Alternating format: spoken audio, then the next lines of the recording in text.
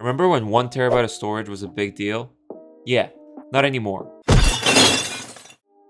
With almost every single new game launching at over 100 gigabytes, your Legion Go will fill up in an instant. In this video, I'll show you how easy it is to upgrade your storage on your Legion Go.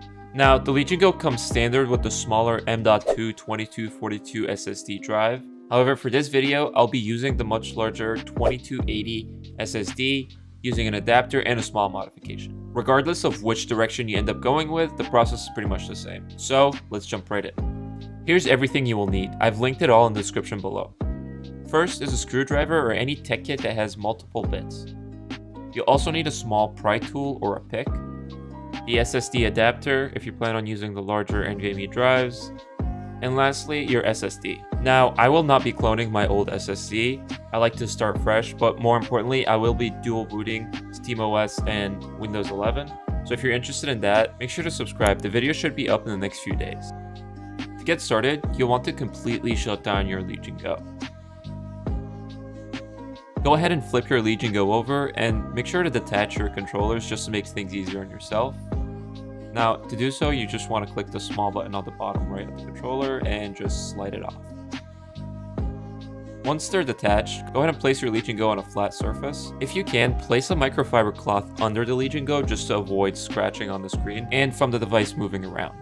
Now you should see six tiny screws on the back of the Go. Go ahead and grab a Phillips head. I believe it's a number zero or number one. Make sure to use some quality ones so you don't strip the screws. I linked the whole kit down below. Do yourself a favor. If you don't have one already, make sure to pick one up. It just makes life easier.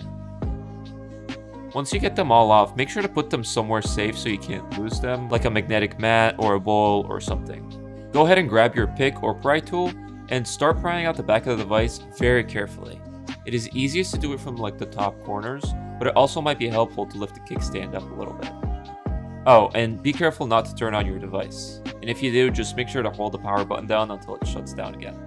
Once you get the back plate off, you should see the inside of your Legion Go. Now, it may be pretty dusty in there, so make sure to give it a good clean and just blow off some of the dust. Now, we'll be mainly focusing on the bottom right hand side of the device, and as you can see, the SSD is the tiny thing wrapped up in the bottom right hand corner held by one screw. Now, before doing anything, it is very important to disconnect the battery. So, let's do that first. Go ahead and peel off that little adhesive on top of the SSD. Then, right on top of the power cable, there should be another small piece of adhesive and make sure to remove it as well.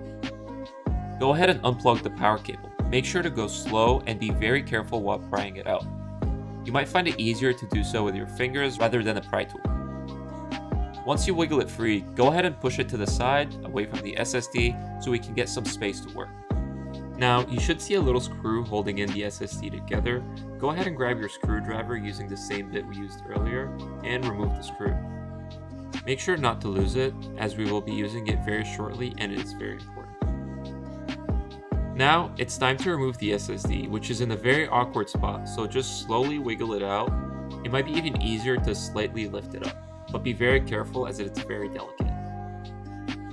Once it's out, if you have one of the smaller 2242 drives, it's as simple as just plugging it back in. But if you have the larger drive like me, go ahead and grab your adapter and plug it in.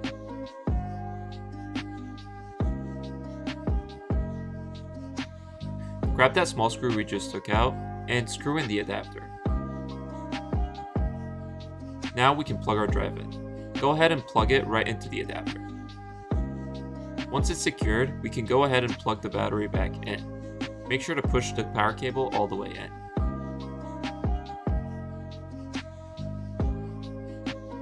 Then, go ahead and cover the cable with the adhesive and make sure to put that little small piece of adhesive right over the power cable.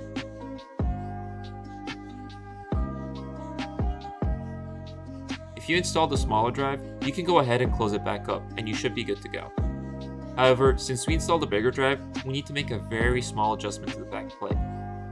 There's these two little things that stick out in the corner of the back plate that need to be trimmed down or removed.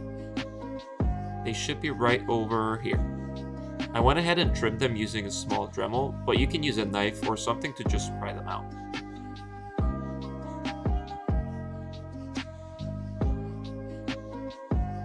Once that's done, you can go ahead and start reassembling the device. Go ahead and close the backplate over and start screwing all six screws back in. And there you have it, you've successfully upgraded your storage on your Legion Go. However, there's nothing installed on it yet. In my next video, I'll be showing you how to dual boot SteamOS and Windows 11 so you can really extract the most out of your Legion Go. Make sure to subscribe and turn on that bell icon so you can get notified as soon as the video is out. It should be out in the next few days. Let me know in the comments below what games you've been playing on your Legion Go. And as always, if you enjoyed this video, make sure to leave a like and subscribe for more.